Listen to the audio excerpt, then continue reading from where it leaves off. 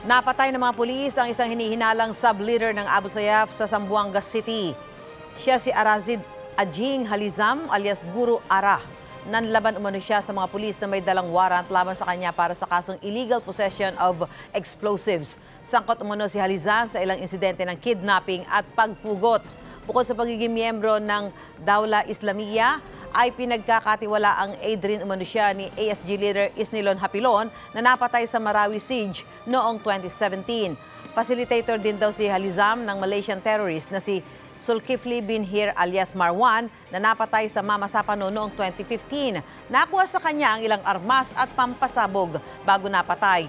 Nagpaplano umano si Halizam na umatake sa Zamboanga Peninsula, Basilan, Sulu at Tawi-Tawi.